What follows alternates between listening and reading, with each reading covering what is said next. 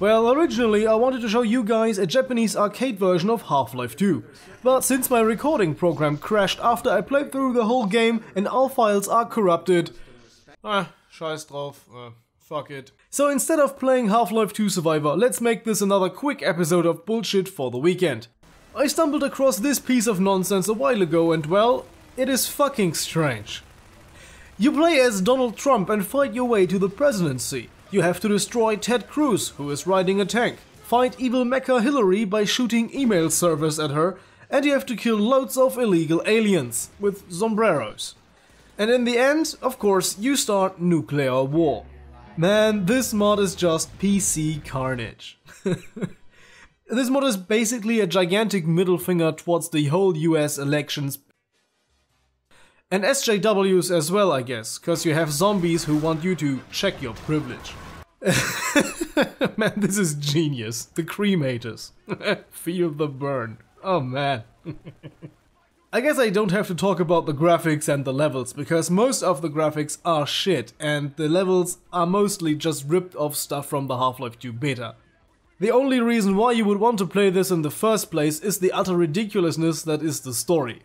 Another highlight are the messed up developer commentaries. I'm just going to play you one of the most elaborate examples of developer commentary I have ever heard. Ladies and gentlemen, I give you Deep Throat. You ever wonder what sticking your mic down your throat sounds like? Well, um, I'm about to do it for you.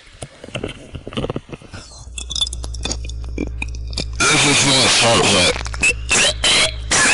Usually one would think that developer commentary tackles topics like uh, engine issues or gameplay stuff, but these guys just talk about random stuff.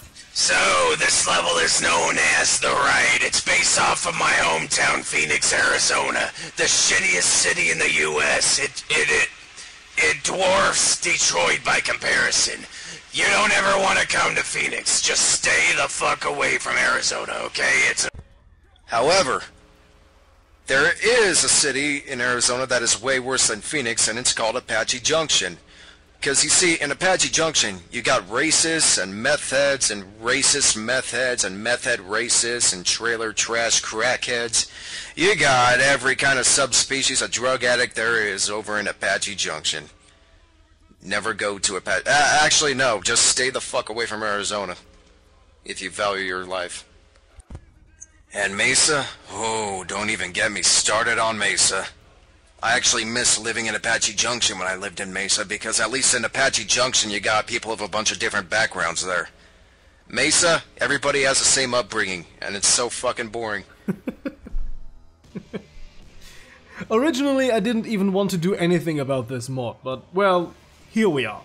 Because most of the levels are filled with copyrighted music, I can't show you everything though. I would suggest you just go and download it yourself. You can find the link in the description down below. So no matter where you are on the political spectrum, if you have a sense of humor and can enjoy a shitty mod, you can have about 30 minutes of mild fun. Or well, be offended about it and post something on Tumblr. And after saying goodbye, I'm just going to let the developers finish this video. So, have a nice Halloween, and see you guys next time. As always, goodbye and guten Tag. A formal note to the player. If you take Trump Quest seriously, then nobody should ever take you seriously as a person. I mean, come on. This is a blatant shitpost mod. Ugh.